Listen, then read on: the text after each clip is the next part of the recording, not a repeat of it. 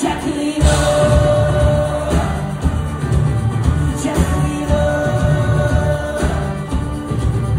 invincible, you're shining like it's up to you, Jacqueline.